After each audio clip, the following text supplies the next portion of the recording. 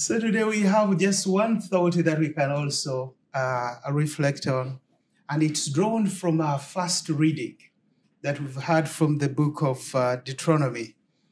And the line simply says that do not forget the things that your eyes have seen. Do not forget the things that your eyes have seen in the past. I've had the privilege of visiting the Holy Land, and uh, we drove it from Egypt all the way through the Sinai, and uh, that all through the desert until we were able to make it to Israel. It is a very tough drive through the Sinai from Egypt heading towards Israel. And uh, we've organized a pilgrimage to the Holy Land in October.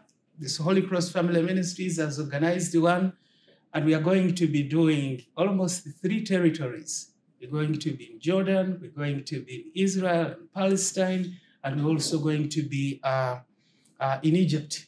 So we're going to start from the end, coming this way, and then we'll fly out of Cairo, coming back. There are flyers outside there about this uh, uh, pilgrimage.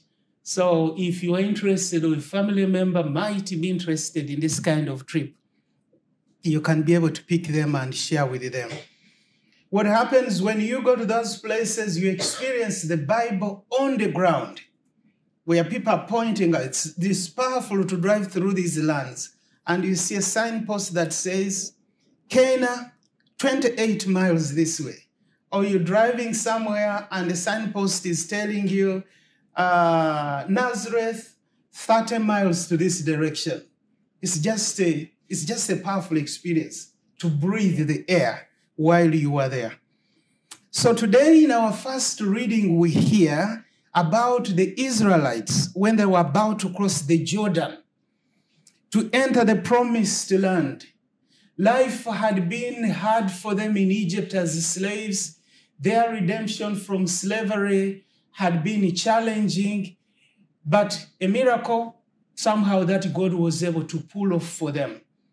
So, traveling through the desert through all these years hadn't been easy either for them. There was no food, there was no water, they were attacked by their enemies, but God had saved them from all their enemies. He protected them, fed them, and here they were on the banks of the river, looking into the promised land that God had eh, prepared for them, ready to cross. It must have been a very exciting experience for them. And as I was preparing this reflection, maybe that is the same experience that European immigrants had or that had been persecuted in Europe and maybe that had been poor. It's the same feeling that they had when they saw the Statue of Liberty with that light as they approaching in their boats. He said, At last we're here. At last we are here. We are arriving into this land. So this is where they are, and that's the setting of this reading. Moses sat down the Israelites as they prepared to cross the Jordan and enter into this land, and he offered them one last piece of counsel to them. And he told them that do not forget the things that your eyes have seen done by God in your life. Do not be forgetful Return to these experiences often. Refresh your memory all the time. Remember where God has brought you from.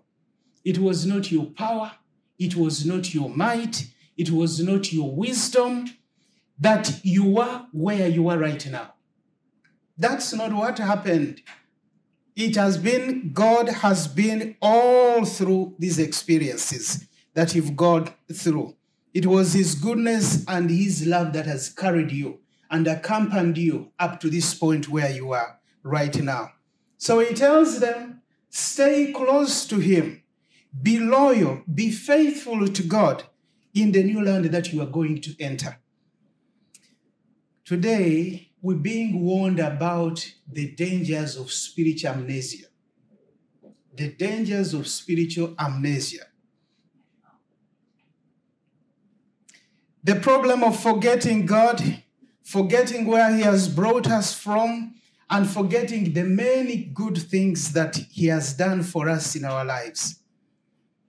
Our personal lives are testimonies in their own way. If you go back into your life, your personal life, or in your family, you will be able to find experiences that remind you that God has actually walked with you this whole journey up to where you are right now. You will be able to see vestiges or traces of His hand throughout your life. And you, can be able to see that, you know what? It has been God that has been able really to help me through this life's journey. One of the most important spiritual habits is actually to keep an inventory of your spiritual moments or good mountaintop experiences that we've experienced throughout your life. You just keep a tab on them. Just to keep a tab on them.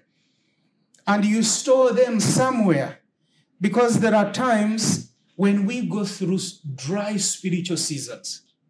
When we can't experience God, when we feel he's so far away, we can't connect, we can't pray very well.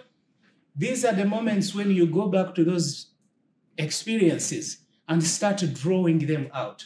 And you try to relive them again so that they can be able to spark your life again into motion, your spiritual life back into motion.